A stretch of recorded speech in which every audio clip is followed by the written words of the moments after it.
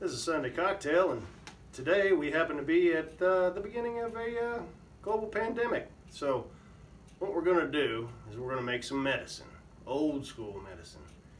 Now, I know everybody's heard about uh, Grandpa's old cough remedy, so I'm going to show you how to make it. Super easy. It's uh, four ingredients. You got whiskey, honey, lemon juice.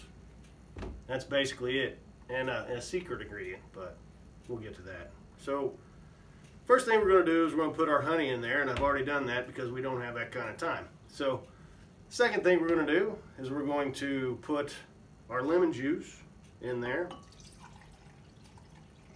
And it's a math game. I mean, whatever kind of size of container you got, just break it down in thirds. So we'll do that.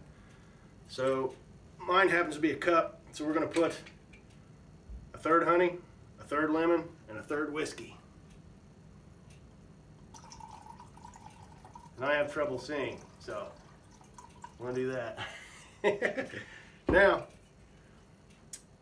the super secret ingredient is uh, fresh ground black pepper. Just makes it better. I don't know why, it just does. We're gonna put a little bit of that in there. And then we're gonna just stir it around. Now, back in the day, people didn't have medicine or, or if they didn't, they made things like this, you know, and it just, they used whatever ingredients they had and it was, you know, worked really well.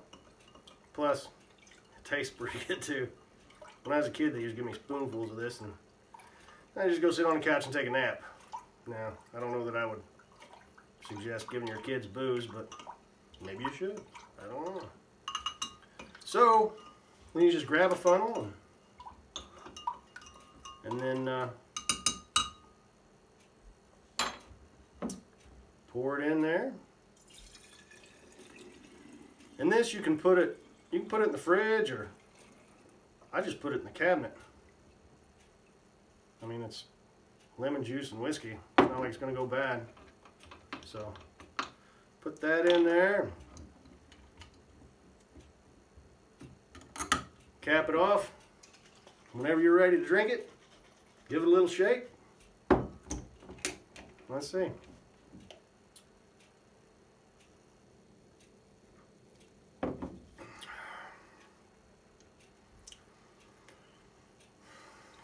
That. It's just so good. And it's medicine. You know, it makes me remember what my grandpa used to tell me. Get off that tractor!